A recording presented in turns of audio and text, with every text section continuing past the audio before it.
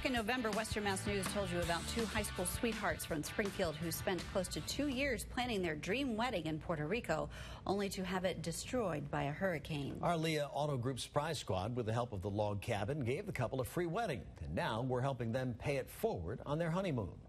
Since kids, we've always said uh, forever and a day. And that's what it's going to be.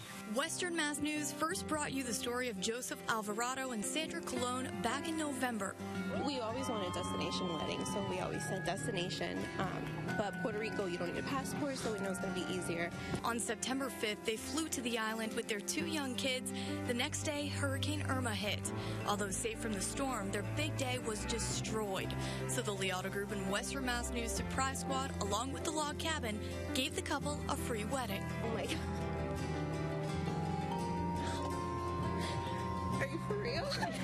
Fast forward to Saturday, April 14th, 2018. These high school sweethearts said a long awaited I do at the log cabin. there isn't anybody else in this world that I would have ever want to go through this with. Like, this is, he is my rock, and without him, this wouldn't be as easy as we make it seem like. Although not their original plan, they do see the positives to their second chance wedding. Even the people who couldn't make it to the island originally, you know, financial reasons, um, work, etc., um, they're now going to be able to make it. So it's, it's going to be nice to just have everybody there. Since the hurricane devastation, Sandra, Joseph, and their two kids volunteer for Enlace de Familia, giving back to those struggling on the island. So much has been given to us, and there, there's no reason to not give back. And what we're doing, I wish we could do. I wish we could do so much more. I feel like we're not doing enough sometimes.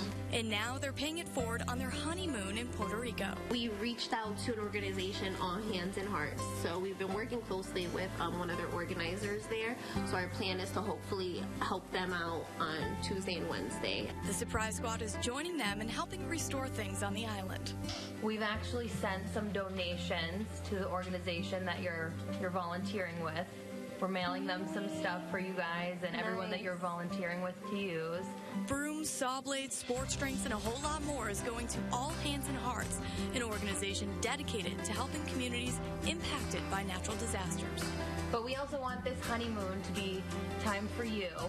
So we've booked you a couple of massages over by the hotel that you're staying at, at one of the spas. Oh my gosh, you guys are awesome.